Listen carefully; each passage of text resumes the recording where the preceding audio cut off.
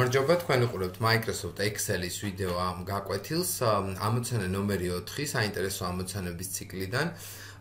ჩვენ არხს უყურებს სოფლიოს სხვადასხვა წერტილებიდან ქართულენოვანი მოსახლეობა და გერმანიის ერთ-ერთი ქალაქიდან დაგვიკავშირდნენ შემდეგი ამოცანის საკითხზე.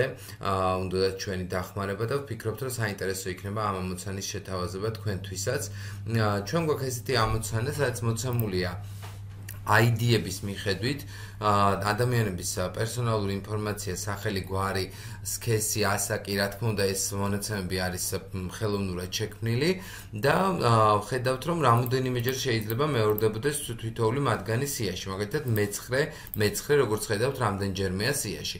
ჩვენ გვეკითხებიან ეს ამოცანას, რომ გვაქვს მაგალითად მოცემული ID-ების სია, მე-4, მე-2, მე-9 და მე-11, რომელიც არ გვინდა რომ დაგვრჩეს ეკრანზე. ანუ გვინდა რომ გავფილტროთ მონაცემები ისე, რომ გაქრეს ეს მონაცემები.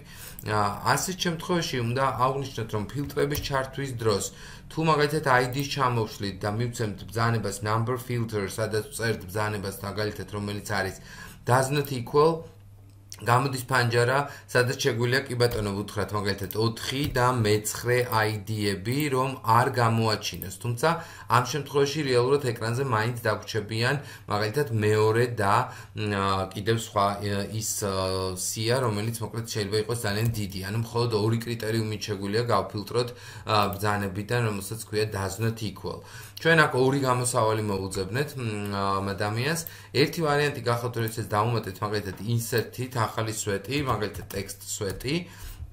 და მივეცით ფუნქცია velookup-ი, სადაც უთხარით, რომ velookup-ის დახმარებით შეგვიძლია მოვნიშნოთ ეს უჯრა, შემდეგ ავირჩიოთ ეს სია, სადაც რა თქმა უნდა გავყინავთ მას, შემდეგ ერთიანი თავისივე თავი რო წამოიღოს 0, იმიტომ რომ ზუსტი შესატყვისი და გავავრცელოთ. თუმცა რაღაც მომენტებში მივიღებთ NA-ს. რეალურად NA მივიღეთ იქ, სადაც სწორედ გვინდა რომ დავიტოვოთ ეს მონაცემები. ამ შემთხვევაში მივცეთ if NA ფუნქცია, რომელიც განმარტებით გახსენებთ, რომ ეს არის შეცდომა NA-ის გამსწორებელი და ასეთ შემთხვევაში we need დავუშვათ საჭიროებების მიხედვით მივცეთ need-ი, okay და როგორც ხედავთ, როდესაც ჩავთავთ ფილტრებს, ჩამოვშლით სიას, გავთიშავთ ასარჩევს მონაცემებს, ავირჩევთ მხოლოდ need, okay და დაგვრჩა ზუსტად ის ცხრილი, რაც გჭირდებოდა. ანუ გამოვრიცხეთ მე-4, მე-2, მე-9 და კიდევ რომელიც იყო ფილტრებმა შეჭამა, მე-11 სტრიქონები, მე-11 ID-ს მქონე მონაცემები.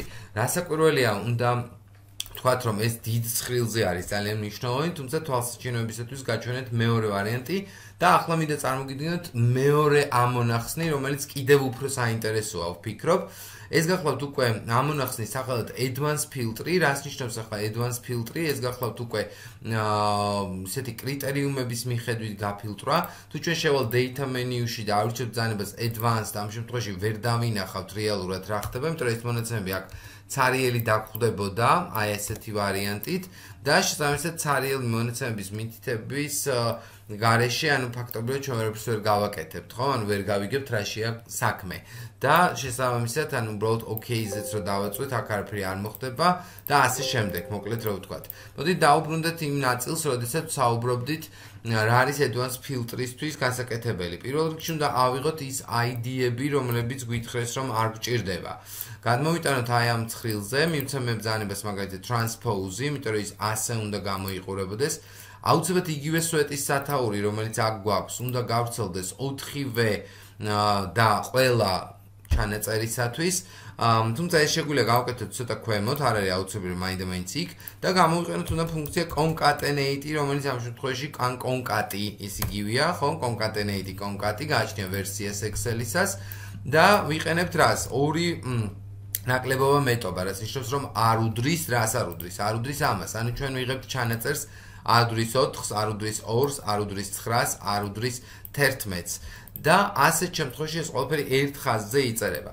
შემდეგ შევდივართ advanced filter-ში, ოღონდ შევდივართ ისე, რომ დგებით უშუალოდ ცხრილზე, რათა advanced filter-ის გამოძახების მომენტში თლიანად იქნეს მონიშნული list range-ი. ეს ნაწილი სარიელი დაგხვდებოდათ, უბრალოდ ჩემ ფაილში შენახულია.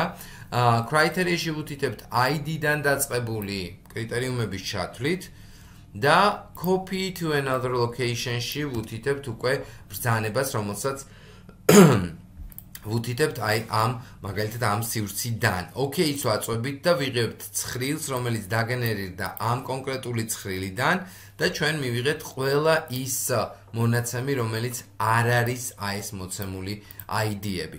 მადლობა ყურადღებისათვის. ვფიქრობ, ერთ-ერთი ძალიან საინტერესო ვიდეო შემოგთავაზებთ. მოიწონეთ ჩვენი Facebook page-ი, გამოიწერეთ ჩვენი YouTube-ის არხი და გამოყვებით Instagram-ზე. მადლობა ყურადღებისათვის და მადლობა საინტერესო შეკითხვისათვის.